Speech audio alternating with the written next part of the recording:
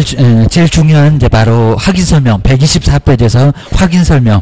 자 여기는 별표 3개를 반드시 꼭 해 놓으시고요. 확인 설명은 여러 문제 저 뒤쪽에 가면 또 실무도 자 여기도 여러 개 자 서식 갖고도 여러 개가 나오니까 정말 우리 실무 쪽이 됐건 시험 문제가 됐건 확인 설명은 가장 중요합니다. 별표 3개를 꼭 해 놓으셔야 됩니다. 자, 먼저 124페이지에서 이제 여기 설명을 먼저 꼭 들어보시면은 조금 더 편할 것 같습니다. 124페이지 이제 확인 설명. 자, 뭘 도대체 확인에다가 그리고 설명을 해야 되는지. 자, 그리고 이제 확인해서 설명했던 사항을 나중에 자, 서식으로 서식으로 작성해서 바로 교부를 하시고 이제 또 보존까지 꼭 하셔야 됩니다. 작성 교부하시고 보존하세요. 자, 여기서 뭐 최소한 우리 법령 쪽에서는 한 두 개 정도 자, 실무 쪽에 가게 되면 하나 정도가 하나 아니면 두 개 정도 더 나올 수가 있습니다. 최소한 세 개 정도는 나올 거다라고 생각을 꼭 해놓으셔야 됩니다. 자, 먼저 첫 번째. 자, 먼저 확인 설명을 먼저 보실까요? 확인에다가 설명해라. 뭐 사실관계 아니면 또 권리관계. 요거 다 배우실 거고요. 공법도 확인에다가 설명을 다 하셔야 됩니다. 재건축, 재개발 이런 과정도 다 확인에다가 우리가 설명을 해야 됩니다. 자, 그 설명하려고 공법도 배우고 이렇게 세금도 배우고 계십니다. 뭐 탈세도 좀 배워봐야 되고 계십니다. 먼저 확인 설명. 자, 그러면 뭐를 확인해서 누구한테 설명을 해야 되는지 계십니다. 자, 먼저 자, 첫 번째가 이제 언제. 요 시기 등이 중요한데 언제 그리고 누구한테 어떤 내용을 가지고 확인해서 설명을 해야 되는지. 자, 먼저 첫 번째는 자, 오자마자니까 중개 의뢰 받으면 첫 번째 중개를 이렇게 의뢰 받았을 때 자, 의뢰 받으면 그리고 다 끝나면 절대 안 되고요. 중개 완성된 후가 아니라 전입니다. 중개 완성. 자, 우리 시험 문제가 이제 언제 요걸 자꾸 속일 수가 있습니다. 중개 완성 전인데 여기다 이제 후. 자, 후라고 이렇게 속일 수가 있을 겁니다. 완성되기 언제라고요? 자, 먼저 자, 먼저 설명하셔야지 다 끝나서 설명하시면 문제가 된다는 겁니다. 완성되기 언제라고요? 전, 여기다가 후. 자, 이렇게 길목을 꼭 정리를 잘 해주셔야 됩니다. 후는 아예 아니라는 겁니다. 자, 후는 다 끝났을 때는 확인 설명서를 작성해서 주시고, 설명만큼은 오자마자 먼저 하셔야 된다는 겁니다. 다 끝나기 전에는 최소한 하세요.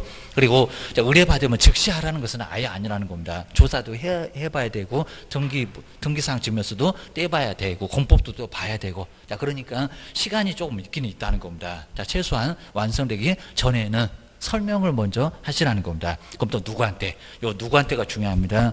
자, 쌍방 중에서 일방. 일방은 누굴까요? 이전일까요? 취득일까요? 취득. 그러니까 모르는 사람, 그입니다. 자, 우리 시험 문제가 이제 여기를 가장 많이 속일 거다. 그런 식입니다. 취득. 자, 취득 쪽입니다. 취득, 의뢰인. 뭐를 사겠다는 사람입니다. 취득, 의뢰인 누구한테? 일방한테. 자, 일방한테 설명하는 거지 쌍방을 절대 아예 아니라는 겁니다. 교실입니다. 왜냐하면 이제 이전 쪽은 말이 안 된다는 거 우리 매도인 매도인 자기 물건 모를까요? 다 알죠, 그입니다. 그러니까 여기는 자, 이전 쪽은 다 필요 없다는 겁니다. 일방 한 사람 이전 요건 말이 안 되고요. 그리고 쌍방도 있습니다. 쌍방 쌍방에는 또 이전 양돈이 들어간다는 겁니다. 한 사람 한 사람 취득 쪽입니다. 전혀 물건을 모르고 차, 여기 사겠다는 사람 그러니까 매수나 임차인입니다. 매수나 임차인입니다. 사겠다는 사람은 그 물건이 어디가 있는지 세종시 어디가 있다고 하는데 가봐야 알지 게입니다. 취득적. 그리고 매수인 말고 이제 임차인, 임차인도 세를 들어오는 쪽입니다. 그럼 임대 그리고 매도 이렇게 이전 쪽에는 필요하지 않습니다. 그러면 이전이 왜 모르겠어입니다. 자, 자기 물건이다 보니까 더 잘 알아. 아마 우리 개업 공유사보다도 더잘알 겁니다. 자기 물건이니까 그입니다. 그러니까 이전 쪽이 아예 아니고요. 쌍방도 아니고 그리고 여기 이제 가장 치사한 문장이 거래 당사자. 자, 거래 당사자 그러면 아예 표가 안 납니다. 거래 당사자. 애도 이제 여기도 이전 매도인도 다 들어가 있으니까 아예 안 된답니다. 오로지 한 사람. 오로지 한 사람한테만 설명을 하라고 했지 다른 사람은 절대 아니라는 겁니다. 기억시랍니다. 그다음에 근거 자료를 뭐 서명 그래도 괜찮은데 근거 자료를 이 자료를 보여주셔야 합니다. 근거 자료를 뭐 해라? 제시해라. 자 그러면 소재 면적 같은 것은 대장. 그건 저기 가서 실무에서 볼 거고요. 그리고 소유권, 지상권, 뭐 지역권 이런 권리관계는 등기상 증명서.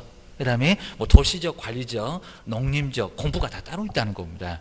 그건 또 토지 이용계획 확인서 이런 공부가 따로 있으니까 아니면 도시개발법은 환지 예정지 지정증명원 이런 게 따로 있습니다. 요 근거 서면을 뭐 하면서 제시하면서 자, 취득 쪽에만 설명을 좀 해주시라는 겁니다. 소재가 어쩌고 면적이 얼마 정도가 되고 그 다음에 지목은 뭐고, 입니다. 개발이 가능한지, 불가능한지, 그것도 다 설명을 해 주시랍니다. 그리고 사면은 세금이 얼마 정도 나오네, 이런 걸 조목조목 설명해 줄 필요가 있다는 겁니다. 그냥 돈만 받고 끝인 게 절대 아닙니다. 기억하셔야 됩니다. 그 다음 이제 두 번째가 이제 확인 설명할 사항. 요 확인 설명할 사항도 요게 이제 몇 개? 아홉 개. 자, 여기 이제 정말 또 시험 문제가 중요하다. 자, 됩니다. 그럼 이제 여기다 앞글자 따보시면 수도권. 자, 좀 말이 안 되지만 수도권 토벽에, 그 토벽이라고 앞글자를 따놓으시고요. 저기 고무조기하고 또 헷갈리시면 아예 안 됩니다. 수도권 토벽. 그 다음에 거취를 하면서, 좀 말이 안 되긴 하겠지만, 거취하면서 뭐 썼다? 일기 썼다. 자, 수도권 토벽 다섯 개, 거취하면서 일기 썼다? 네 개. 그러니까 딱 아홉 개가 나옵니다. 저기 건물 조교는 거래계약서. 여기 수도권 토벽은 바로 확인 설명할 사항. 확인 설명할 사항도 이 아홉 개. 하나라도 빠지면 아예 안 된다는 겁니다. 500만 원 약할 때로 얻어 맞아요. 기하셔야 됩니다. 먼저 첫 번째 수도 좀 이따 이제 서식 보시면 이제 거기도 서식에서도 한 문제가 나오기는 하는데 수도나 그리고 전기나 그리고 가스 등의 시설물의 상태 그러니까 이런 상태라는 게 수돗물은 풍부한지 전기는 이렇게 올바르게 작동하는지 하다 별로목을 다 설명합니다. 라고 이제 이런 상태 그리고 도로 그리고 대중교통 수단 등 해서 이제 여기는 입지 조건 어디 놓여 있다는 입지 조건도 뭐 해야 된다고요? 확인을 해야 된다는 겁니다. 어, 고구자실입니다. 입지 조건도 여기도 확인 설명해야 되고요. 어. 어. 예, 괜찮아요. 요거 이제 우리 동영상 이제 찍으니까 그때 한번 보시면 되고, 일단. 예, 조금 이제 그러시고 할 건데, 어, 이제 나중에 적응되실 겁니다. 적응되실 거니까, 어, 처음엔 다 그런 소리 하시는데, 괜찮아요. 어. 저보다, 저보다 더 빠른 사람도 있어요, 진짜로. 어, 음. 그다음에 입지 조건, 입지 조건도 이제 확인에다가 설명을 하셔야 되고요. 우리 미국의 대통령이 이제 뭐라고요? 우리 부동산의 첫 번째도 입지, 두 번째도 입지, 세 번째도 입지라고 했습니다. 자, 뭐라고요? 정말 놓여 있는 이런 입지 조건이 뭐 정말 가장 중요할 수가 있습니다. 접근성, 뭐 이런 것들이 정말 아주 중요할 수밖에 아예 없다는 겁니다. 꼭 기하셔야 됩니다. 그래서 이제 우리 실무하실 때도 요게 이제 지하철 항상 그런 소리 해봤습니다. 지하철에서 이제 몇 분 이렇게 5분 5분 이내 거리 요거 정말 초역세권이라고 합니다. 이런 거 꼭 사셔야 됩니다. 그러니까 이렇게 초역세권이 나왔다 그러면 누구 주지 말고요. 저걸 내가 사볼까? 라고 해서 우리가 한번 투자해 보는 것도 괜찮다는 겁니다. 그 다음 이제 5분에서 조금 더 멀어져서 이제 한 얼마? 10분 정도. 이렇게 10분이면 요건 그냥 역세권이라고 합니다. 요즘은. 그러니까 옛날에 그냥 역세권이라고 이제 예, 아예 공통적으로 표현했는데 지금은 5분 이내 거리면 초역세권 이렇게 부르고요. 또 우리 대화도 통해야 되니까 입니다. 그리고 한 10분 이내 거리면 뭐라고요? 역세권. 이렇게 초역세권이나 역세권은 이게 망할 수가 아예 없다고 합니다. 그러니까 부동산은 이런 걸 꼭 사야 된다는 겁니다. 저기 막 한 30분 가는데 여기다가 사놓으시면 이건 팔리지도 않고 이거 왜 샀을까 아주 내가 미쳤지 하면서 난리가 날 겁니다. 이러고 사시면 정말 안 된다는 겁니다. 그러니까 요게 좀 이제 이어 이렇게 좀 부담이 돼도 요거 5천만 원이다 하더라도 5천만 원 싸다고 사시면 아예 안 된다는 겁니다. 면적이 더 커도 이런 거 사시면 정말 안 된다는 겁니다. 사놓으면 나중에 고치만 아파요. 이 정도니까 꼭 나중에 웬만하면 돈을 좀 대출을 받아도 대출 뭐 아까우실 거 없습니다. 뭐 지렛대 효과 이런 거 활용하시면 될 거니까요. 이어 이렇게 투자를 좀 제대로 하셔야 됩니다. 그래야 이제 공실도 없고 지하철에서 가까운 역입니다. 요거 맨날 비어 있습니다. 아주 맨날 비어 있어. 관리비는 내가 내고 있습니다. 내가 좀 아주 세를 사는지 아주 세금 때문에 죽어납니다. 이런 거니까 세가 안 나가면 좀 비용은 내가 다 낼 수밖에 아예 없다는 겁니다. 사놓으면 좀 아주 왼수 덩어리가 되니까 이런 거를 꼭 사놓으셔야 정말 괜찮다는 겁니다. 아까 직접 거래 봤잖아요. 요거 이제 내가 우리 사무소에 직접 들어오면은 이런 것들은 우리가 이제 직접 거래하면 직접 거래로 3년이나 징역을 얻어맞으니까요. 꼭 누구요? 갑이 누구한테 을한테 요 다른 부동산을 통해서 계약을 하면은 이렇게 병한테 이렇게 사온다고 하더라도 이건 직접 거래가 아니라는 겁니다. 우리가 이제 다른 부동산 안 통하고 직접 거래했을 때가 3학년 3반이고요. 요거는 다른 부동산을 통하게 되면 직접 거래 아니고 이건 사도 괜찮다는 겁니다. 아무 문제가 없습니다. 이런 것들은 직접 거래가 아니니까 우리가 매수를 해도 괜찮을 수가 있다는 겁니다. 아니면 또 재건축 정말 아주 좋은 물건 나왔습니다. 그리고 대지권도 크고 그리고 재건축 반드시 바로 갈 것 같다. 이런 것도 우리가 직접 거래해도 괜찮아요. 이렇게 직접 거래면 안 되지 간접 거래는 아무 문제가 없다는 겁니다. 사도 괜찮다. 깨우셔야 됩니다. 우리가 이제 자, 투자해서 이제 또 팔고 양도소득세 이렇게 내면서 이제 세금도 좀 내보고 차익이 좀 크면은 낼 수도 있을 겁니다. 그런 거 이제 근거로 보여주게 되면 우리 부동산도 잘한다라고 소문이 날 수가 있다는 겁니다. 한번 정말 보여주면은 여기도 괜찮을 수가 있습니다. 그러니까 우리가 투자해서 좀 보여주시라는 겁니다. 그럼 다 믿고 따라요, 게입니다. 아니면 또 우리 개업공사 이제 돈을 벌었다가 뭐 어디서 또 알고 왔는지 세종시 말고도 막 서울에서도 다 쳐들어올 겁니다. 전국에 다 소문날 거니까 괜찮을 수가 있다는 겁니다. 꼭 직접 투자해서 한번 수익을 남겨 보셔야 됩니다. 우리 매도매수만 좋은 일 시킬 필요는 아예 없다는 겁니다. 우리가 제일 잘할 거니까. 그입니다. 남제 권 권리관계. 자, 권리관계. 그러면 지상권 그리고 소유권. 우리 위보에서 배우시잖아요. 자, 소유권. 소유권에는 문제가 없는지. 아니면 또 지상권. 자, 지상권 있으면 소유권자가 또 꼼짝을 못 하잖아요. 또 경관 건물은 30년 또 매매가 진행되면 관습법상의 법정사건 성립하면서 30년이 또 갈 수가 있다는 겁니다. 소유권자를 꼼짝 못하게 하니까 조심하세요. 그 다음에 뭐 지역권 등 이런 것들이 바로 이제 권리관계 확인에다가 설명을 좀 해주시라는 겁니다. 전세권. 아니면 또 경매로 나갈 수 있다는 저당권 또는 근저당권 이런 권리관계를 설명을 모두 해주셔야 됩니다. 민법 배울 때 정확하게 배울 거니까 무슨 권리인지 이런 것들은 설명을 좀 해주시라는 겁니다. 하셔야 됩니다. 그다음 이제 우리 보통 이제 저당권 같으면 요거 나중에 이제 대출 이자가 밀리면 경매로 나갈 수도 있으니까 요거를 나중에 실무하실 때 말소를 할 건지 이것 인수도 가능할 수 있다는 겁니다. 신용에만 문제가 없으면 대출을 그대로 승계해서 말소할 건지 인수를 할 건지 이런 것들도 꼭 조건부로 조건부로 계약을 해서 요 저당권 때문에 경매로 나가지 않도록 하시라는 겁니다. 자, 그 정도 문제가 되니까 저당권 말소시킬래요? 아니면 인수하실래요? 라고 해서 이런 것도 우리가 알아서 좀 해주셔야 된다는 겁니다. 자, 조심하셔야 됩니다. 아니면 또, 자, 집을 산다고 했을 때 돈이 없네요. 그럼 대출 받으라는 겁니다. 자, 건전한권. 자, 이렇게 건전한권 설정하게 되면, 자, 은행에서도 우리 중개보수처럼 보수를 따로 줍니다. 은행 연결해주면, 이런 것들도 수수료가 좀 꽤나 된다는 겁니다. 한 1억이면 2, 30만 원 가깝습니다. 이런 것들은 필요한 비용으로 우리가 쓸 수도 있다는 겁니다. 우리 통장으로 줄 거니까 뭐 매도 매수한테 알려주지도 않을 건데 은행에서 우리한테 주니까 그런 것들도 부수입이 될 수가 있다는 겁니다. 조심하셔야 됩니다. 대출 좀 유도를 해보시고요. 그 다음에 토, 공법입니다. 토지 이용 계획. 자, 토지 이용 계획입니다. 자, 공법. 그 다음에 이용 제한하고 뭐, 거래 규제. 자, 이용 제한, 거래 규제. 자, 우리 시험 문제가 이제 다음 중에서 이용 제한이 아닌 것은 이렇게도 시험 문제를 내본 적이 있습니다. 용도 지역, 용도 지구, 용도 구역. 이런 것들이 바로 이제 이용 제한에 해당될 겁니다. 사후. 자, 처음에는 뭐라고 안 했을 겁니다. 땅 한번 이용해 보려고 하니까 건폐율, 용적률 따지고 건물 못 짓게 한다는 겁니다. 이게 바로 이용 제한.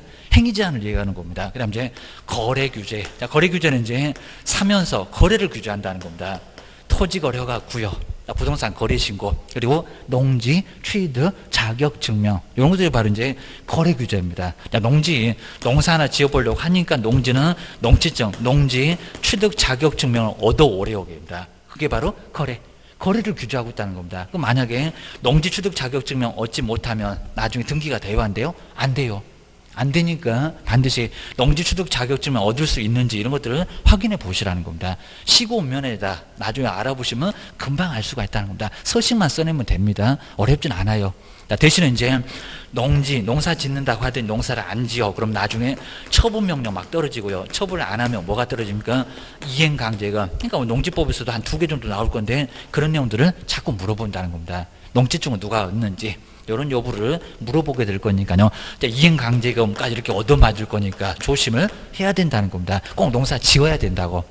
농사 안 지을 것 같으면 아예 낙찰도 받지 말라고 라고 됩니다. 우리 이제 올해도 많이 강조드렸는데 우리 농지 취득 자격증명 경매 쪽에는 경매 쪽에서는 매각 결정 길까지 매각 결정 기일까지는 얻어와야 됩니다. 우리 40번 문제 거기에 나왔었다는 겁니다. 매각길이 아니라고 정말 많이 강조드렸습니다. 경매 쪽도 이렇게 연결해서 물어볼 수가 있다고. 경매가 될건 매매가 될건 공매가 될건 무조건 농지는 농사 지을 수 있는 사람은 그러니까 그 취득을 증명해 보라고 증명해 보라고 농사 짓겠다고 증명해 보라는 그 서식이 있었을 때 농지 취득할 수 있다는 겁니다. 거기다 이제 경영 계획서까지도 필요합니다. 어떻게 경영하겠다. 뭐 사분 몇 자루가 있고 농사는 누가 지을 거고 이런 서식이 약간 다른데 그 서식을 두 개 나란히 냈을 때 냈을 때 농지를 취득할 수가 있다는 겁니다. 안 그러면 등기 못해. 깨 하셔야 됩니다. 아, 벽면. 우리 주변에도 농지 많이 있잖아요. 그 다음에 도배, 벽면 도배의 뭐 상태.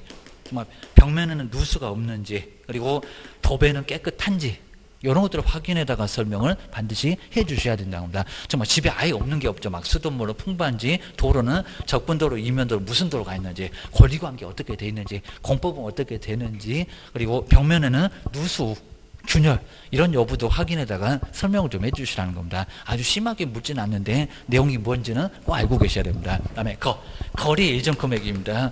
우리 개업 공인주사가 봤을 때 얼마 정도로 거리 될 거라고 거리 될 거라는 거리 예정 금액. 예정 금액도 확인해다가 설명을 해 주셔야 되고요. 그 다음에 중개 보수도 같은 돈인데 중개 보수나 그 다음에 실비입니다. 중개 보수나 실비의 금액도 요 금액하고 산출 내역도 확인해다가 설명을 해 주셔야 된답니다. 거래된 금액이 아니라 거래 예전 금액, 거래 예전 금액을 확인해다가 설명을 해 주셔야 됩니다. 자, 우리가 이제 지역 분석, 개별 분석 해보게 되면 금액이 나오니까 그런 것들을 확인해다가 설명해 주셔야 됩니다. 그리고 취득 쪽에만 하는데 이제 중요한 부분입니다. 취득, 세금입니다. 취득 관련된 아까 금방 보셨네요. 저 설명이 많이 필요했는데 취득 관련된 조세도 여기를 확인해다가 설명을 해 주셔야 된다는 겁니다. 자, 주택에서 금액에 따라서 1%, 2%, 3%, 농지는 3%, 상가라든지 농지가 아닌 땅 같으면 거기도 4%. 자, 그거 정확하게 설명할 수 꼭 있어야 됩니다. 자, 세금 얼마 정도 나오냐고 물어볼 건데 잘못 설명해 주면 큰 문제가 발생한다는 겁니다. 우리는 나중에 조금 더 배울 거고, 게임입니다. 1조, 그 다음에 소음, 그리고 진동 등 환경 조건입니다. 주변 환경 때문에 안에서 여기서 느낄 수 있는 환경 조건도 확인해다가 설명을 하시고 그리고 가장 기본이 된다는 무슨 사항? 기본적인 사항. 기본적인 사항인데 요게 이제 소재. 자, 우리 시험 문제가 정말 어려웠을 때는 다음 중에서 기본적인 사항을 설명하는 것을 찾아보세요. 이렇게도 막연하게도 시험 문제를 내본 적이 있었답니다. 소재, 그다음에 지모, 그다음에 면적, 그다음에 구조라든지 이런 이제 구조나 건물의 용도, 방향까지도 이렇게 용도 그리고 방향. 우리 방향 같은 것도 잘못 설명하시면 큰 문제가 발생한다는 겁니다. 방향. 방향 같은 것도 확인해다가 설명을 하세요. 걔는 또 막 서양인데 동양 이러면 큰 문제가 발생한다는 겁니다. 물어보지 말고 직접 조사하세요. 기하셔야 됩니다. 이제 세 번째가 이제 세 번째가 자료 요구. 올해는 시험 문제가 여기서 나왔습니다. 자료 요구입니다. 자료 요구. 자료를 이제 자료를 달라고 자료를 달라고 요구하는 게 바로 자료 요구. 그럼 이제 첫 번째가 이제 요 자료 요구는 누구한테 누구한테 자료를 달라고 할까요? 입니다. 매수 쪽일까요? 아니면 취득 쪽일까요? 매수 쪽 아니면 이전 쪽. 그러니까 이거는 이전. 자, 이전은 의뢰인 쪽입니다. 자, 매도인 쪽입니다. 자, 완전 달라집니다. 자, 설명은 설명은 모르는 쪽, 취득 쪽인데 이렇게 취득 쪽인데 여긴 누구라고요? 오히려 이전 쪽. 그러니까 자료 달라. 안에 있다 보니까 들어가기 좀 껄끄럽다고 자료 달라. 자, 이전 쪽이지 여기는 취득이 아니라는 겁니다. 취득 쪽 말고. 취득은 그냥 설명만 들을 쪽입니다. 자료를 달라고 하는 사람은 이전 쪽. 취득 쪽 말고 여기도 쌍방은 아니고 라고 기억을 주셔야 됩니다.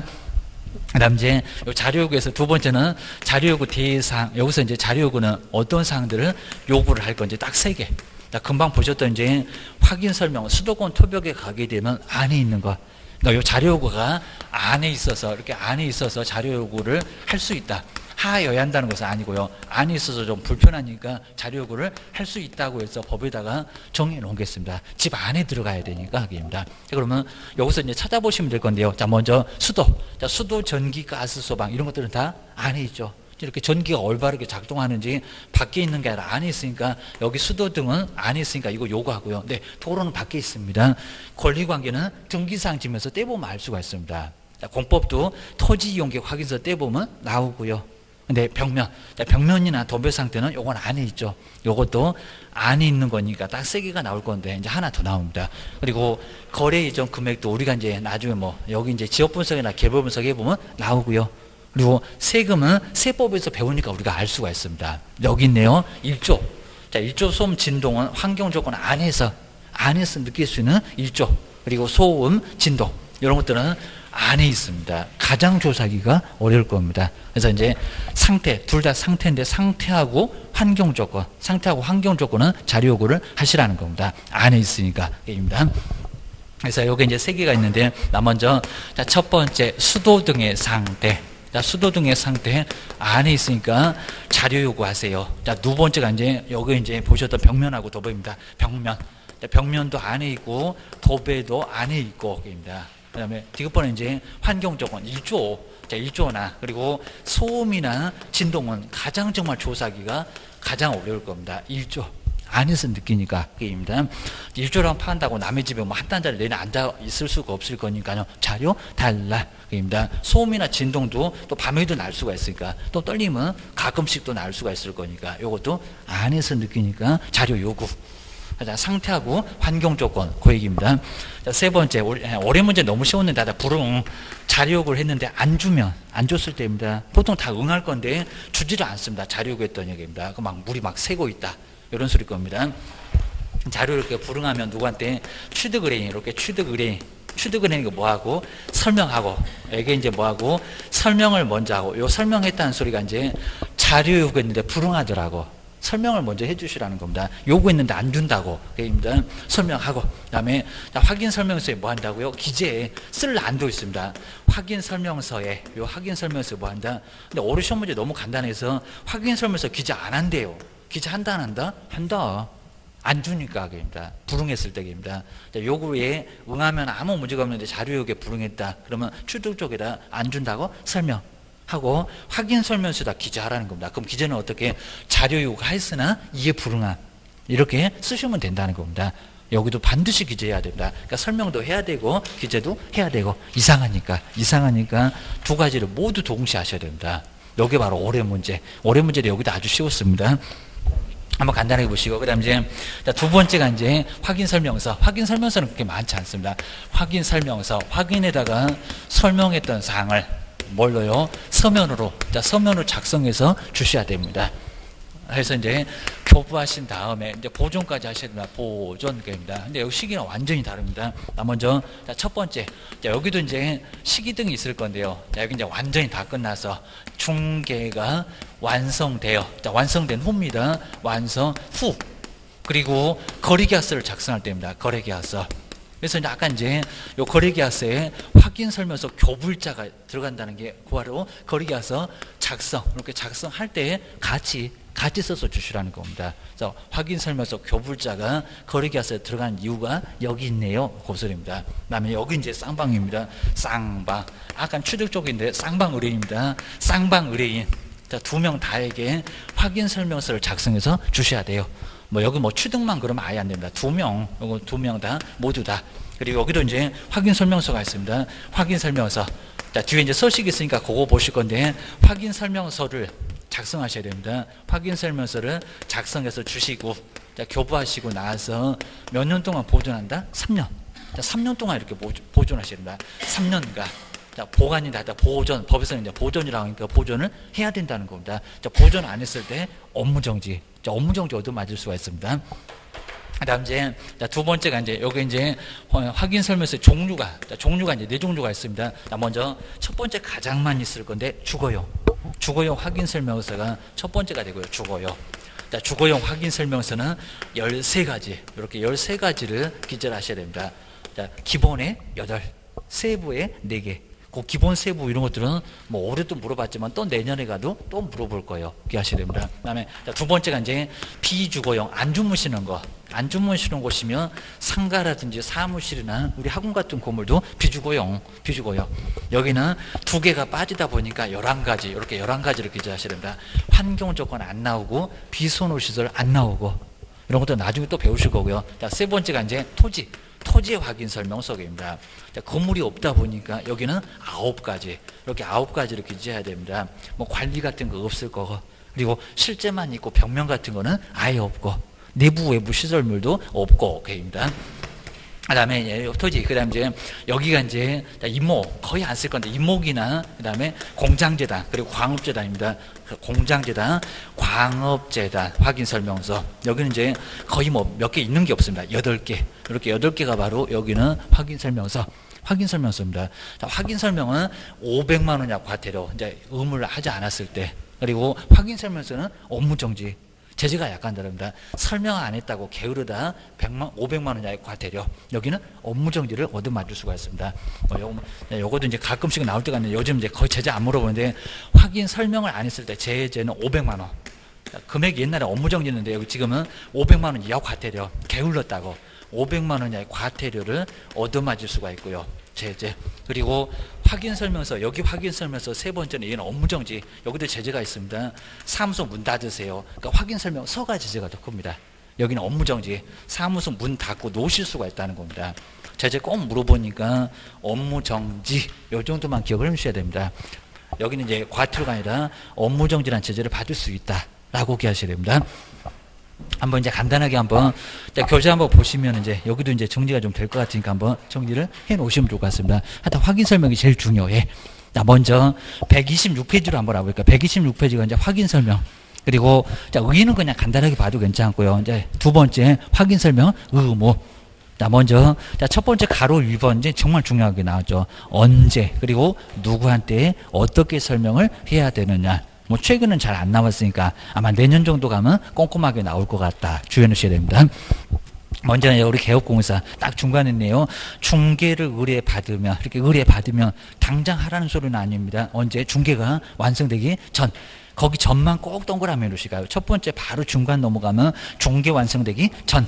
자, 후가 아니라 전. 자, 시험 문제 가보면 여기도 완성된 후 이런 식으로 딱 적어냈습니다. 다 끝나서 설명하시면 아예 안 된다는 겁니다. 자, 오자마자 먼저 그리고 중개가 완성되기 전에는 먼저 하셔야 됩니다. 그리고 자, 두 번째 볼까요? 중개사물의 상대 그리고 입지 그리고 권리관계 몇 개만 좀 써놨고요. 아까 수도권 토벽에 아홉 개, 그 일부만 써놨습니다. 그리고 어, 공법상 이용자 거래규제 거래 또는 이용자에 관한 사항 그 다음 이제 세 번째 줄에 대통령령이 정하는 사항들을 확인해서 그 사항이 바로 아홉 개입니다. 그리고 누구한테 자, 세 번째 줄에 저 끝에가 이제 중요한 부분이 있습니다. 권리를 여기도 취득이 좀 이상하게 떨어지는데 취득 자, 누구 쪽에 설명한다고요? 취득 꼭 시험장에 가보면 여기다가 거래 당사자 또는 쌍방 이렇게 속입니다. 언제 누구한테 정말 거기가 제일 중요하니까 누구한테 취득 쪽에만 이전 쪽에다 설명할 필요는 아예 없고 그리고 쌍방 그래도 이전이 들어가 있습니다. 추득 쪽만 추득 쪽에만 설명하셔야 됩니다. 그 다음에 성실 정확하게 설명하고요. 그 다음에 토지 대장 이렇게 보여주면서 등기상 치면서 공법 장부 보여주면서 근거 자료를 제시를 해야 된다는 겁니다. 자, 첫 번째 줄에 중간 넘어가서 언제 그 다음에 세 번째 줄에 저 끝에 취득 누구한테 그 다음에 어떻게 근거 자료 제시하면서 요 세 군데를 꼭 눈여겨보셔야 됩니다. 뭐 시험 문제에서도 제일 중요하다라고 기억을 꺼내셔야 됩니다. 자, 그 정도 해놓고 이제 127페이지 이제 금방 보셨던 수도권 투벽이 여기 있네요. 확인 설명할 사항. 자, 확인 설명할 사항도 정말 모르면 아예 안 돼. 500만 원 약화대로 얻어맞는다. 그리고 몇 개만 안 해도 다 업무정지, 다 설명을 사실은 해야 된다는 겁니다. 교실입니다. 먼저 첫 번째 요게 이제 일기인데 중개사물의 종류 가장 마지막에 있었던 일기 그리고 소재나 지번이나 지목 이런 문장을 안 틀리게 할 건데 중개사물의 가장 뭐 기 기본이 되는 사항 기 기본적인 사항 기 기에다가 동그라미 시고요 이제 일기 썼다고 했을 때 그 기 우리가 아홉 번째 일기 할 때 여기입니다. 첫 번째로 나온 일기. 그다음에 자, 두 번째 소유권, 전세권, 저당권. 자, 민법에서도 자세히 배우실 거고요. 지상권. 지상권이 뭔지 저당권이 뭔지 설명하셔야 됩니다. 임차권 등 종계상물의 뭐 권리관계 이게 매수인이 다 떠안고 가니까 매수인 결국에는 전세권 돈 내줘야 되고요. 전세가 임차권에 보증금도 내줘야 됩니다. 대항력이 있으니까. 됩니다. 그 다음에 권리관계. 자, 권에다가 동그라미 하시면 아까 세 번째 수도권 할 때 그 권이 바로 권리관계입니다. 권리관계도 확인에다가 설명하세요. 그 다음에 자, 3번 보시가 거래 예정 금액. 그러니까 이제 지역 분석, 개별 분석 해보면 저거 예정 금액 얼마다. 우리는 금액을 대강 안다는 겁니다. 예정 금액. 자, 중개 보수나 실비의 금액이나 그 산출 내역. 자, 우리 3번에는 거, 거기다가 꼭 동그라미 한번 해주시고요. 자, 4번. 자, 토지 이용계 공법, 토지 이용계 공법상 거래 규제나 이용 제한에 관한 사항. 여기는 이제 토에다가 한번 동그라미 해놓으시고요. 토벽할 때 토, 고소리입니다. 그 다음 이제 5번에는 수도 전기 등의 저 끝에 상태. 수도물은 풍부한지 전기는 올바르게 작동하는지 가스가 아직 도시가스가 아닌 집도 있고 계십니다. 그 다음에 여섯 번째 벽 벽면 도배 자, 수나 벽에다가 동그라미를 꼬으시고요 수도권 토벽할 때 그 벽입니다. 그 다음에 자 일곱 번째가 일조 가장 조사하기 어렵다 일조 소음 진동 등 환경 조건입니다. 집 안에서 느낀다는 환경 조건 그러니까 자료 주세요라고 요구할 수가 있습니다. 자료 요구가 올해 시험 문제 나왔다라고 기하시야 됩니다. 그 다음에 여덟 번째가 이제 도로 대중교통 수단과 연계성 등에서 입지 조건 놓여 있는 입지 조건입니다. 그 다음에 자 여기 이제 도에다가 동그라미 해놓으시면 되고요. 수도권 할 때 바로 도고입니다. 그 다음에 아홉 번째 취. 자 취득함에 따라서 취득 쪽에만 설명하니까 세금도 이전은 보유는 설명할 필요가 아예 없다는 겁니다. 취득함에 따라서 부담을 해야 될 조세, 종류나 세율 그래서 이제 아홉 번째는 추에다가 추에다가 동그라미를 해 놓으시면 될 것 같습니다. 나 먼저 첫 번째가 이제 5번이죠. 수도권 할 때 수. 자, 두 번째는 바로 이제 자, 여덟 번째는 도, 수도. 그다음에 권. 권은 바로 이제 3번이 바로 저기 바로 3번에 나 저기 2번에 나와 있습니다. 수도권. 권. 그 다음 이제 토. 자, 토가 바로 4번에 토가 있고요. 토. 그 다음에 벽. 벽면할 때가 5. 자, 6번에 바로 다섯 번째입니다. 토, 벽. 그 다음에 거치. 자, 3번이 바로 여섯 번째 거고, 그 다음에 9번이 바로 일곱 번째 취이고, 그 다음에 일기. 자, 일조할 때, 자, 7번이 바로 여덟 번째고요. 그 다음에 기본적은 1번이 바로 아홉 번째. 수도권 토벽에 거치하면서 일기 썼다라고 기억을 꼬으셔야 됩니다. 아니면 가로 세 번째 자료고 보실까요? 어려운 문제 뭐 기재하지 않아도 된다. 기재해야 된다는 겁니다. 불응했을 때는 여보 여기 나오잖아요, 여기입니다. 자 동그라미 2번에 나오죠. 자료 요구 뭐 했을 때 불응했을 때 왜 안 주냐고입니다. 우리 매도인은 자기 물건에 자신이 없나 봐. 매수인은 설명을 들어야 되고 그럼 이제 세 번째 줄에 끝에 보실까요? 자, 그 사실을, 불응했던 그 사실을 매수 또는 임차은행에게 뭐하고 설명하고 근데 뒤에 이제 확인 설명서에 기재한다 안 한다? 한다. 어른 정말 아주 쉽게 나왔습니다. 확인 설명서에 기재하지 않아도 된다. 그러다가 업무정지 당한다. 그입니다. 자, 기재한다 안 한다? 한다. 안 줬다는 사실을 기재를 해야 된다는 겁니다. 그럼 어떻게 해요? 자료 요구하였으나 이에 불응함. 자, 이런 식으로 기재를 반드시 해야 된다는 겁니다. 안 하면 문제가 된다는 겁니다. 그것입니다. 네가 책임질래? 고소리입니다. 그 다음 이제 세 번째가 확인 설명서. 확인 설명서는 다 끝나서 확인 설명은 이제 다 끝났고 확인 설명서입니다. 거래가 완성돼요. 자, 중개가 완성돼요. 언제 거리 가서 작성할 때, 거리 가서 작성할 때니까 확인서 확인 설명서 언제 줄 거냐는 아까 교불자 조교할 때 그 교가 여기에 나온다는 겁니다. 작성할 때 확인 설명서 교불자도 같이 작성해. 이런 소리인 것 같습니다. 그 다음에 아래를 보시면은, 자, 서면으로 작성해서 누구한테 거래 당사자에게. 자, 두 번째 줄에 중간 바로 넘어가면 거래 당사자. 여기 쌍방입니다. 자, 서식은 쌍방한테 다 주고. 자, 몇 년 동안 보존한다고요? 3년. 자, 보존 기간은 정말 아주 중요합니다. 전속 중개기가서 3년, 확인 설명서도 3년. 아까 거리계약서는 몇 년? 5년. 자, 거리계약서는 서식이 바로 거기는 돈이 있다 보니까 서식도 없는 것이 5년입니다. 나중에 다 정리가 돼 있으니까 여기는 3년 꼭 됩니다. 자, 뒤로 넘겨보시고요. 자, 뒤에 이제 어, 동그라미 2번은 이제 뭐 전자계약서가 있다 보니까 거기는 국토교통부로 바로 보관이 되다 보니까 거기는 보존기간 따로 필요 없고 그건 뭐 나중에 볼 거고요. 자, 올해 이제 처음으로 아마 시험 문제 대상이 될 것 같고 그입니다. 그 다음 이제 가로 2번 그 박스 아래쪽에 서명 뭐라고 서명 및 자, 여기다 치사하게 서명 또는 해서 시험 문제 왜 틀렸냐고 그것도 28회 때 바로 작년도에는 거기서 이제 시험 문제가 나왔었다는 겁니다. 서명 뭐라고요? 서명 및. 자, 그 밑에다가 제목이 좀 굵게 있네요. 서명 및. 꼭 동그라미 좀 해놓으시고요. 서명보다 또는 날이. 또는 아니라는 겁니다. 뭐 골라먹는 재미가 있냐고. 서명 및 날이니까 이름도 쓰고 도장도 날인해야 되고 두 개를 동시에 해야 된다는 겁니다. 안 그러면 제재 업무정지 얻어맞아. 자, 제재 얻어맞습니다. 옆에 이제 129페이지에 정말 정리 잘 해놨습니다. 확인 설명 의무 왼쪽 그리고 오른쪽은 확인 설명서. 그 확인 설명했던 사항을 서면으로 작성해서 주시라. 시기가 완전 다르죠. 먼저 중개 의뢰 받으면 오자마자 설명부터 하세요. 다 끝나면 절대 안 된다는 겁니다. 다 끝나서는 뭐 하라고요? 확인 설명서. 서를 작성해서 주셔야 됩니다.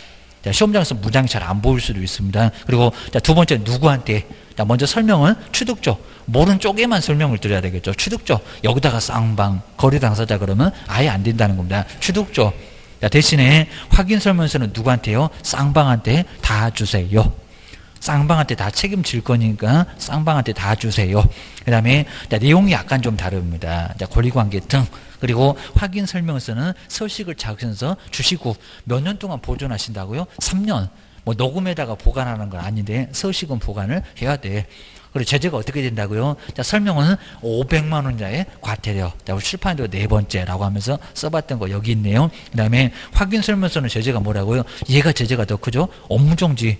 업무정지를 얻어맞을 수가 있네요. 자, 소속은 자격정지를 얻어맞을 수가 있네요. 라고 기억을 해주셔야 됩니다.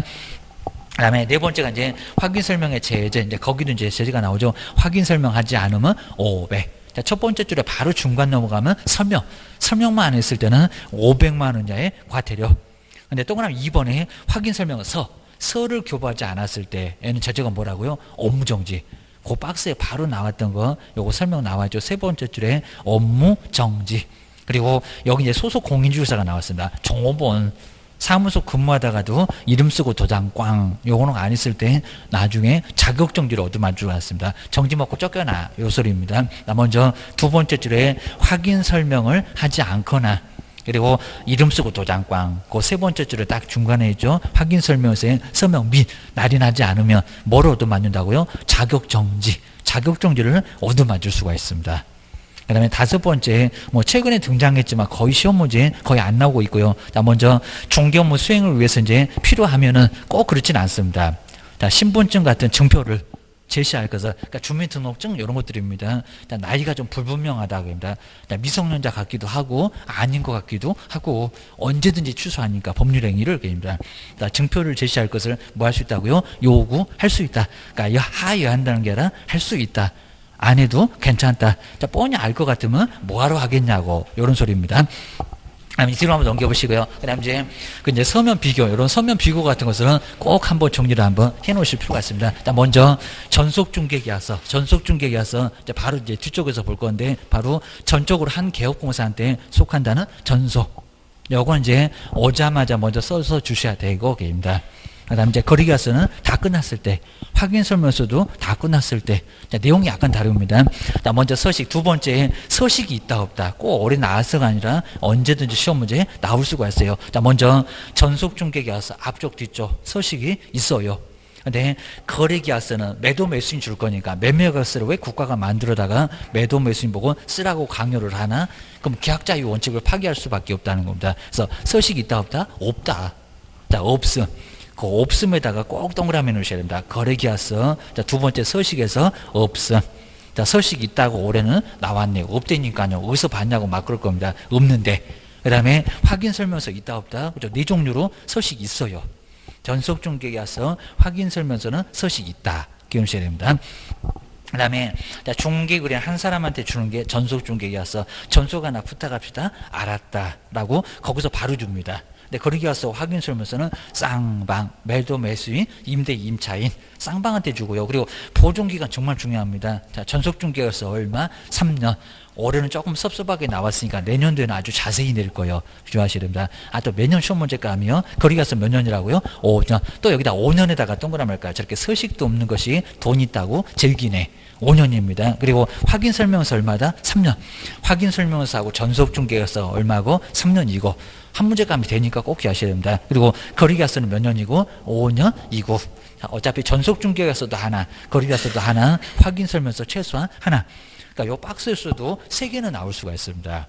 꼭 문제 구성이 돼요. 그 다음에 전속 중개가 써보실까요? 언제 중개 의뢰 받으면 중개 하나 부탁합시다. 알았어. 하자마자 전속 중개 가 서 주시랍니다. 다 끝나갖고 주시면 안 됩니다. 근데 거리 가서 다 끝나서 확인 설명서도 다 끝나서 완전히 다 끝났을 때 거래계약서 확인 설명서 아까 설명은 오자마자고 그래서 이맛박 이렇게 생각하시면 될 것 같습니다.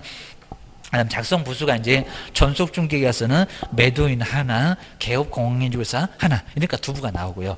그런데 거리가서는 쌍방한테 줄 거니까 매도 매수인. 우리도 보관을 해야 되니까 몇 부? 세 부. 이렇게 부수는 안 물어보지만 꼭 알고는 계셔야 됩니다. 확인 설명서도 몇 부? 세 부. 이렇게 기억을 꺼내셔야 됩니다. 그리고 이제 확인 설명 조금 어려웠던 이제 작년도 문제 바로 요게 이제 작년도 문제 어려운 문제 아니고 올해 문제는 약간 쉬웠습니다. 자, 그 정도 한번 정리를 꼭 한번 해 주셔야 됩니다. 그러니까 이런 문제로 꼭 시험 문제가 하나는 나온다. 그러니까 이렇게 박스 문제가 좀 어려운 형태입니다. 어려운 문제는 아주 쉬웠고. 자, 그럼 이제 내년 정도는 요 4번 같은 문제가 나올 가능성이 또 커요. 그입니다. 형태를 꼭 바꿔서 내니까 좀 이제 까탈스러울 수 있다. 기억하셔야 됩니다. 뭐 다른 문제는 쉬울 거고. 그입니다. 그다음 131페이지가 이제 자, 뒤에 보시면 이제 132페이지로 한번 해볼까 게시. 자, 게시는 그냥 간단하게 봐도 돼요. 사무소 벽에다가 걸어 놓으세요. 자, 걸어 놓지 않게 되면 여기도 100만 원자의 과태료. 자, 오다가 다 사무소 잘 안 보이긴 할 건데 벽에다가 뭐 줄레줄레 붙여 놨습니다. 네 개. 우리도 안 붙여 놓으면 나중에 100만 원자 과태료 얻어 맞습니다. 조심하셔야 됩니다. 자, 먼저 가로 2번에 게시할 상. 여기서 이제 게시할 상이 시험 문제가 가끔씩은 되고요. 자, 올해는 자세히 언급 안 했으니까 내년도에는 또 나올 것 같아. 기억하셔야 됩니다. 꼭 한두 해 정도는 걸려서 시험 문제가 나옵니다. 나 먼저 첫 번째 1번 중개사무소 무슨 등록증 세종시에서 주신 중개사무소 등록증을 벽에다가 걸어야 됩니다. 첫 번째 등록증. 자, 두 번째는 보호소, 중개보수. 그 다음에 실비의 요율표 가장 걸어놓기 싫어한 겁니다. 뭐 계산해 볼까 봐서 뭐 0.5, 0.4 이러놓으니까 매도 매수도 잘 몰라. 그입니다. 우리는 알지. 그입니다. 보수, 그리고 실비의 요율, 한도의표 걸어 놓으셔야 됩니다. 가장 걸어놓기 싫어한다는 두 번째. 그 다음에 세 번째는 자격증 개업 공인주사고 누구 것도 걸어 놓으라고요? 소속 정호본 것도 걸어 놓으셔야 됩니다. 걔는 또 개업만 그러면 안 됩니다. 누구도요? 소속 공인주사 정호본 것도 걸어 놔야 돼요. 꼴 보기 싫으면 저 구석대기다 걸어 놔야 됩니다. 바로 소속 공인주사의 공인주회사 자격증 자, 종업원들 것도 걸어 놔야 됩니다. 안 걸어 놓으면 사장님이 얻어 맞습니다. 조심하셔야 됩니다. 근데 가로에다가 모든 개업 공인주사가 다 걸어 놓는다. 그러면 X가 된다는 겁니다. 부칙. 부칙은 자격증이 없습니다. 자격증이 없어요. 자, 거기에 바로 이제 1961년도에 신고만 해라. 라고 해서 이제 가끔씩 지금은 이제 아예 자격증 없는 사람 받아주지 않는데 그때는 아예 자격증 없는 사람이 영업을 할 수 있었다는 겁니다. 아직까지도 영업하니까 이렇게 자격증 없는 사람도 좀 섞어져 있습니다. 20% 주의하셔야 됩니다. 열집 중에 한 두 집은 자격증 없는 사람이 있습니다. 기억하셔야 됩니다. 자, 네 번째 보증 설정. 자, 보증 설정을 증명할 수 있는 서류. 우리 보고 보험 가입하래요. 자, 그게 바로 보증 설정. 이렇게 딱 네 개. 많이 어렵지는 않습니다. 근데 아무리 봐도 사업자 등록증 안 나오고요. 그리고 교육 받았냐 실무교육 수료 확인증 이런 거 안 나옵니다. 나중에 한번 더 써보긴 할 건데 그런 것들은 게시 안 한다. 꼭 됩니다. 다음 중에서 게시하지 않는 것은 이미 딱 오지선단 네개 아주 쉽잖아요. 네 개는 만들어져 있고 하나만 딱 집어넣으면 뭐를 게시 안 하니 이렇게 문제 물어볼 수 있다는 겁니다. 문제 그렇게 많이 물어봤고 게시해야 됩니다. 그다음 이제 두 번째 사무소 명칭도 요 사무소 명칭도 반드시 꼭 하나 정도는 하나 정도는 반드시 나옵니다. 근데 어려운 문제는 여기가 상당히 좀 어려웠네요. 어른 거 해가지고 상당히 좀 어렵게 나왔습니다. 저기 17번에 나와 있을 건데 500페이지에 나중에 한번 진도가 뭐 한 두 번 세 번 이렇게 돌아가면은 제일 뒤에 오래 나온 문제가 거기 있을 겁니다. 사무소 명칭도 반드시 꼭 하나가 나옵니다. 132페이지가 이제 요 명칭 명칭을 오다 가다 이렇게 사무소 왔다, 왔다 갔다 하다 보면 사무소 좀 많이 쓸 겁니다. 명칭을 사용해야 된다. 명칭이 뭐라고요? 명칭 사용 의무. 사무소 간판에는 명칭을 명칭을 써야 될 의무가 있다는 겁니다. 꼭 기억하셔야 됩니다. 나 먼저 오다 가다 이렇게 보면요. 이제 중개 사무소 이렇게 중개 사무소 이렇게 있을 겁니다. 중개 사무소. 우리 보통 이제 공부를 안 하실 때는 공부를 안 하실 때는 중개 사무소 하도 많이 보이다 보니까 많이 보이다 보니까 저놈은 사무소 아주 발에 걸린다고 자꾸 신경도 안 썼을 겁니다. 그런데 이제 나중에 이제 중개 사무소 이렇게 공부해 보시면 중개 사무소 저거 어떻게 영업하는지 이렇게 영업하는지 아니면 또 사무소 간판만 보면 요. 요 간판만 보면 나중에 공부해 보시면 이거 존경스럽다고 합니다. 정말 그러긴 합니다. 네, 존경스러울 정도로 상당히 어려우니까 어려우니까 정말 나중에 사무소 간판 보면 저놈의 간판 아주 눈에 띄는 게 간판인데 상당히 존경스러울 수밖에 없다는 겁니다. 정말 그럴 수밖에 없습니다. 근데 꼭 뻥치는 사람들 많이 있죠. 뭐 자기가 3개월 만에 이렇게 3개월 만에 자격증 이렇게 자격증 취득했다고 이렇게 자격증 취득했다는데 정말 3개월 만에 자격증 취득이 될까요, 안 될까요? 절대 안 된다는 겁니다. 이거 엉뚱한 소리입니다. 앞에는 최소한 2년 아니면 3년이에요. 최소한 뭐 이게 뭐 1년도 말이 안 되고요. 최소한 2년 아니면 3개월인데 이게 창피하니까 창피하니까 연은 다 빼버리고요. 이건 저기 다 보내고 요거 가지고 요거 가지고 뭐 3개월 갖고 합격했다. 그 사람 3년 3개월입니다. 진짜로 우스갯소리가 아니라는 겁니다. 자, 이 정도로 정말 많이 어려워요, 입니다. 뭐 아예 뭐 스카이가 와도 어렵다고 합니다. 서울대 그다음 고대 연대라고 해도 요거 정말 어려울 수밖에 없습니다. 정말 우리 공부하신 분도 제가 막 서울대를 나왔네요 하면서 이제 자랑질 하시다가 나중에 합격 못 하셔 갖고 나중에 학원에도 못 나오고 그냥 창피해 갖고 다른 학원 가고 다른 학원 가가지고 따가지고 이제 그때서 등장하시는 분도 계십니다. 정말 그럴 수가 많이 있다는 겁니다. 정말 이건 아예 학력하고도 거의 상관이 없습니다. 그냥 무조건 그냥 의자에 딱 앉으셔갖고 얼마 동안 앉아 계시느냐 여기가 바로 합격선. 이 정도지. 정말 고등학교만 이렇게 졸업하셔도 괜찮습니다. 뭐 대학이고 필요 없습니다. 이런 공부 아예 안 해보다 보니까 정말 그래요, 게입니다. 그러다 보니까 이제 요 우리 법대생들도 민법 외에는 거의 잘 모릅니다. 뭐 다른 아니 뭐 공법이라든지 뭐 세법이나 이런 거 거의 배워본 적이 없습니다. 그러다 보니까 상당히 어려울 수 있다는 겁니다. 그리고 세금, 세법 뭐 16개밖에 안 나옵니다. 뭐 세무학과 이런 분도 다른 과목은 다 모를 정도입니다. 이게 만만치가 않습니다. 이렇게 보시고 중개사무소 이렇게 왔다 갔다 보실 건데 항상 보면은 상호가 이렇게 보이고요. 자 거기도 이제 시험 문제 시험 문제 하나 나오니까 그렇습니다. 그리고 공인중개사 사무소 이렇게 여덟 글자가 반드시 들어가야 됩니다. 공인중개사 사무소 자 오다가다 한번 사무소 간판 보시면 이렇게 공인중개사 사무소 이렇게 여덟 글자가 반드시 들어가 있다는 겁니다. 그다음에 여기 너무 길 것 같으면 부동산 이렇게 부동산 중개라고 해서 이제 부동산 중개 그러니까 여덟 글자나 이렇게 여덟 글자 아니면 다섯 글자 이 둘 중에서 하나를 선택해야 된다는 겁니다. 이게 바로 명칭 주연하셔야 됩니다. 근데 이제 꼭 주의하실게요. 아, 먼저 첫 번째 간판은 우리 처음 부터 자꾸 나옵니다. 간판은 이 간판은 설치할 의무가 있을까요, 없을까요? 입니다. 간판 설치할 의무가 근데 꼭 있을 것 같은데 간판 설치할 의무가 근데 없어요, 없어요. 이거 좀 조심하시라는 겁니다. 시험 문제 요즘 자주 나옵니다. 그리고 법에도 간판 설치해야 된다, 말아야 된다 이런 소리는 없는데 간판 설치할 의무는 없다. 이게 없다는 겁니다. 우리 중개하면서 반드시 간판을 설치해야 된다 그러면 X 오려 설치해야 된다고 그게 X라는 겁니다. 간판 설치 안 해도 돼. 주셔야 됩니다. 왜냐하면 이제 그러긴 좀 어려울게 할 건데 아예 벽에다가 이렇게 벽에다가 그냥 무슨 무슨 공인조사 사무소 이걸로도 괜찮아요. 벽에다가 어 그리고 이제 현수막으로 하기도 좀 하기로 할 건데 하여튼 현수막으로 이렇게 걸어도 간판 아니래도 괜찮잖아요. 네, 이렇게 하기는 좀 어려울 건데 현수막으로도 괜찮고 이렇게 현수막도 괜찮고 그리고 벽에다가 이렇게 벽에다가 표시하는 것도 그죠? 이것도 문제는 안 된다는 겁니다. 안 된다. 왜냐면 간판 달아놓으면 막 지저분해 보이고 이거 잘못해갖고 바람 불어서 떨어지면 사람도 죽습니다. 정말 요 간판 간판 큰 거 떨어지면 사람 죽습니다. 취하가 사망입니다. 이러다 보니까 간판을 설치해야 될 의무가 있다 없다? 없다. 사람만 다쳐 해가지고 설치할 의무는 없다는 겁니다. 근데 간판을 설치 안 하고 어떻게 영업을 하겠냐고. 정말 간판이 정말 중요하다 보니까 설치 안 할 수가 없다는 겁니다. 근데 설치할 의무는 없는데 설치를 하면 문장, 명칭 같은 거 들어가야 되고 이름도 들어가야 된다는 겁니다. 이제 안 들어가면 거기서부터 제재가 가해집니다. 꼭 기하셔야 됩니다. 그다음에 여기다 이제 요게 이제 문자인데 여기 이제 문자고 명칭인데 문자 외에 이렇게 여덟 글자나 다섯 글자 외에 성명이 반드시 표기가 돼야 된다는 겁니다. 그래서 뭐다 성명 이렇게 성명 표기해야 됩니다. 성명 대표자 누구 누구 뭐 대표자라는 글자는 안 들어가도 되는데 누구 누구 누구 이런 식으로 반드시 뭐가요 이름 이렇게 문자하고 성명 두 개는 반드시 꼭 들어가야 된다는 겁니다. 자, 시험 문제가 반드시 나오니까 꼭 기억하셔야 됩니다. 아, 두 번째, 하여튼 여기는 간판을 설치할 의무는 없지만 만약에 간판을 설치하라고 앉는데 설치를 하면 이렇게 설치를 하게 되면 자 그때 이제 첫 번째 뭐 들어가야 된다? 문자. 자, 문자는 이제 명칭이나 같은 소리인데 명칭. 무슨 무슨 사무소 하여튼 간판 달면 다섯 글자만 있다. 여기는 괜찮은데 사무소가 없으면 이것도 제재가 떨어진다는 겁니다. 공인중개사 사무소 여덟 글자가 반드시 들어가야 됩니다. 아니면 또 중개는 빼버리고 부동산 이렇게만 써놓으면 이것도 안 된다는 겁니다. 여덟 글자, 다섯 글자 글자는 아예 안 틀리고 무조건 여기는 여덟 글자고 다섯 글자가 나와 있어야 됩니다. 기억하셔야 됩니다. 우리 기출문제가 한번 나온 적이 있습니다. 기출문제가 공인중개 한번 보실까? 공인중개. 공인중개 법률.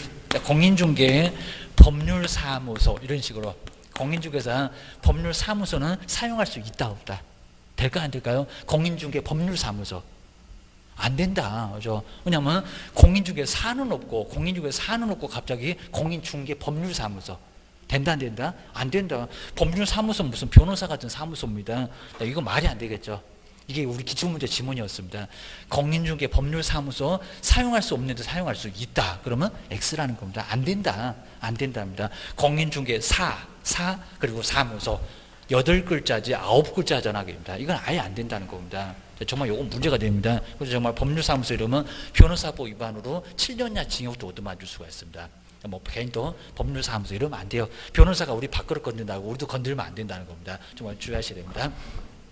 자, 그, 거기도 이제 아예 그냥 트러스트 부동산 이제 형벌 받아갖고 중개 못해요. 라고 기억하셔야 됩니다. 그 다음에 두 번째가 이제 뭐가요? 성명. 자, 이게 두 개가 들어갑니다. 성명도. 자, 성명도 표기를 해야 되는데, 자, 성명은 꼭 주의하셔야 됩니다. 이름은. 자, 문자는 아무 소리가 없는데 성명은 인식할 수 있는, 자, 문장에서 인식할 수 있는 크기라고 씁니다. 인식할 수 있는 정도의, 그러니까 잘 보일 수 있는 정도의 뭘요? 크기로 자, 크기로 반드시 성명만큼 뭐 해야 된다고요? 표기를 반드시 해야 됩니다. 그러니까 꼭 줘야 될게 요건 심하게 아직 안 해봤는데 문자는 아무 소리가 없는데 뭐가요? 성명만큼은 자 이름만큼 반드시 잘 보여라. 요거 하나만큼은 잘 보여라. 잘 보여라. 라고 법에서도 얘기를 하고 있다는 겁니다. 근데 그럴 수밖에 없습니다. 먼저 공인중개사 법률사 공인중개사 사무소 요 공인중개사 사무소는 여덟 글자는 크게 못 써서 안 다르죠. 이거 누가 적겠습니까? 아주 대문짝만하게 쓰려고 할 겁니다. 근데 여기다 이름은 자 이름은 크게 쓰려고 합니까? 근데 중개파는 그렇게 창피하신가요? 그입니다. 자꾸 이제 여기다가 자, 그죠 이름만큼은 어떻게든 적게 쓰려고 적게 쓰려고 발악을 할 거니까 뭐라고요? 요 성명만큼은 크게 안 쓰고 아, 잘 안 보이면은 문제 삼겠다는 겁니다. 꼭 기하셔야 됩니다. 그러니까 여기 문자가 아니라 문자는 아무 소리 없는데 얘기 안 해도 여기 잘 지키니까 그리고 뭐 얘기해봐야 뭐 의미가 없는 게 있을 겁니다. 그러니까 뭐하러 잘 얘기 안 해도 아무 소리 안 해도 잘 지키는데 여기다가 잘 보여라 이런 소리 안 할 거라는 겁니다. 뭐면 성명만큼은 잘 보여라 이름만큼은 잘 안 보이면 문제 삼겠다는 겁니다. 기하셔야 됩니다. 그리고 뭐 내용 별거 없고요. 그 다음에 세 번째가 이제 만약에 간판에 문제가 있으면 철거 명령 이렇게 떨어지고요. 철거하라고 철거 명령 떨어집니다. 간판 뜯어내야 됩니다. 근데 간판을 만약에 뜯어내지 않으면 뭐 해야 된다고요? 여기 대집행 사람을 부르다 뭐 한다고요? 아주 악랄하게 합니다. 대집행 사람을 부르다 간판을 뜯어낸다는 겁니다. 비용을 청구합니다. 자, 그 다음 이제, 여기도 이제 별개로 또 이제 뭐가 있냐면 100만 원 이하 과태료가 있습니다. 100만 원 이하에. 그러니까 100만 원 이하에 뭐를? 과태료를, 이렇게 과태료를 때릴 수도 있다는 겁니다. 간판. 간판도 한 문제가 매년, 정말 매년 나올 정도로 아주 중요하니까. 또 이제 문자는 뭐가 들어가야 되고, 자, 이름은 어떻게 들어가야 되고, 그 이름이 잘 보여라. 잘 보여야 된다는 겁니다. 그리고 간판이 문제가 있으면 간판 뜯어내라는 철거 명령. 먼저 시군구청에서 철거 명령이 먼저 들어온다는 겁니다. 그리고 철거를 하지 않으면 사람 불에다가 뒤집행 사람 불에다가 대신 뜯어낸다는 겁니다. 그러니까 철거 명령에 따르지 않으면 과태료가 아니라 철거 명령에 따르지 않으면 대집행 사람 불에다가 뜯어냅니다.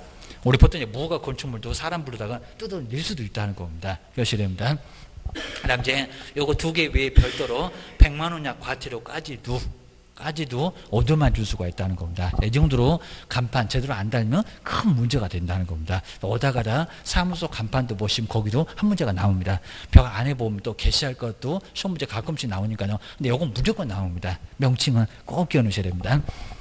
아, 그 정도 해놓고 이제, 자, 다음 시간에 간단하게 뭐 명칭 사용, 이런 것들 한번, 자, 요거 보고 나서 이제 뒤쪽에 전속 중개 계약, 거기가 또 중요한 부분이 있으니까, 그거 한번 잘 전속 또한 문제가 꼭 반드시 나오니까 이제 한번 예, 한번 전속 중개계약도 145페이지도 한번 무슨 내용 있는지 한번 잘 보시면 될 것 같습니다. 또 다음 시간에도 상대적으로 중요한 부분이 마지막에 있으니까 거리정보망 거기도 꼭 한 문제가 또 나오니까 두 개, 최소한 두 개 정도는 나올 수가 있습니다. 꼭 기억해 놓으셔야 됩니다. 아, 조금 쉬었다가 다음 시간에 계속 해보겠습니다.